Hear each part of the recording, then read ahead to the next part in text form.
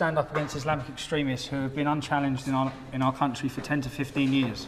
They're recruiting on our streets, in our universities, in our colleges, um, and the government are doing nothing about it. And to be honest, we don't feel the Islamic community are doing anything about it.